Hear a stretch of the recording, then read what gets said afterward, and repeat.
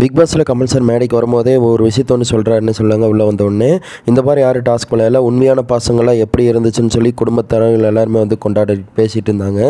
சில பேர்கள் வெளி உலகத்தை பற்றி டிஸ்கஷன் பண்ணியிருந்தாங்க. அதே மாதிரி உள்ளே என்னென்ன கேம் விளாட்றாங்களோ எல்லாமே கேம் சேஞ்ச் டோட்டலாக வந்து ஃபேமிலிஸ் எல்லாம் சொல்லிட்டு போயிருக்காங்க. நீ நல்லா விளையாடு அப்படின்னு சொன்னவங்க ஒரு பக்கம் இருக்காங்க. நீ நல்லாவே விளாட மாட்டேங்கிற ஒரு மாதிரி கேம் சேஞ்ச் பண்ணு அப்படின்னு சொல்லி சொல்லிட்டு போனவங்க ஒன்று பேர் இருக்காங்க. எதிர்பார்க்காத எதிர்பாருங்க இன்றைக்கி ஒரு நாமினேஷன் இருக்குது அப்படின்னு சொல்லி கமல் சார் சொல்கிறாரு அது கெஸ்ஸிங் படி பார்த்தீங்கன்னா நம்ம இவர் தான் சரவண விக்ரம் அவர் தான் வந்து வெளியே போகிறான்னு சொல்லியிருக்காங்க. இன்றைக்கி ஒரே ஒரு விக்ஸன் தான் இந்த வாரம் அப்படின்னு சொல்லாங்காட்டி சரவண விக்ரம் மட்டும் தான் விக்ஸன் ஆகுறாங்க. நீங்கள் சொல்லுங்கள் உங்களோட கருத்துன்னு வ- அம்மா அதாவது ஹஸ்பண்ட் வந்து பார்த்தீங்கன்னா நேற்று வந்தாங்க. பசங்களோட நேற்று வரும்போதே பார்த்தீங்கன்னா விசித்ரா அம்மா பயங்கரமாக அழுதாங்க.